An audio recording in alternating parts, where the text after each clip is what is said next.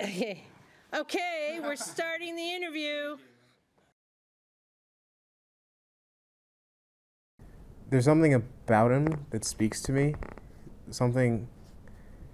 Because we all know what it feels like to be abandoned, you know, and left behind. Bent's the type of kid, I guess, that you see him rolling past the front of your house on a skateboard with a cigarette or something, and then you think to to yourself like, where is that kid's parents and where's his head at? But if you ever sat down to talk to him, you might learn that he's scared too.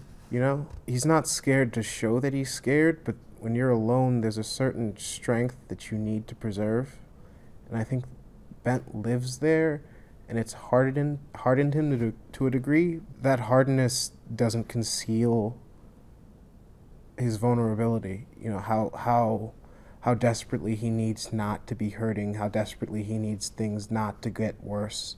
How desperately he needs his home to be the way it was. I started acting unwillingly.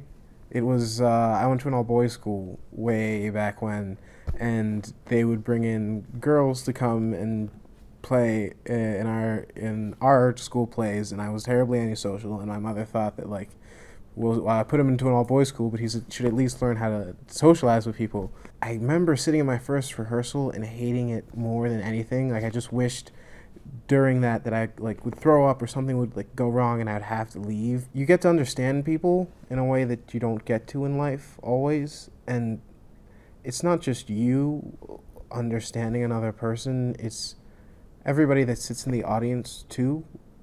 And there are these moments where you feel connected to everything. You get to show it to other people. And there's something about that that's essential, I think, to life.